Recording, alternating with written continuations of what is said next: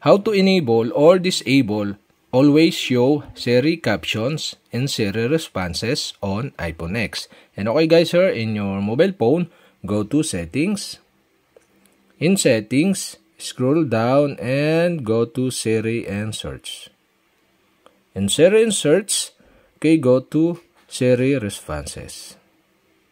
In Siri responses, okay, you can see here the always show Siri caption. And the always show Siri caption is disabled. To enable this, you'll have to do is switch on the switch button on the right side. This enable, show what Siri say on screen. And that's it. Okay, you have successfully enabled. And to disable again, you'll have to do is switch off the switch button on the right side. And okay guys, we have successfully enabled or disabled always show Siri captions and Siri responses on iPhone X.